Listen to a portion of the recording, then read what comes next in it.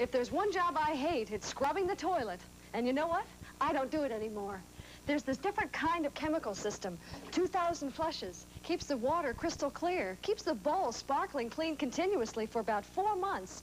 No rings, no streaks, no stains. Just put the container in your tank and forget it. Every time you flush, the chlorine crystals dissolve away rust and minerals before dirt rings and stains appear. 2,000 flushes keeps the bowl so sparkling clean, I don't scrub at all. And flushing sure beats brushing.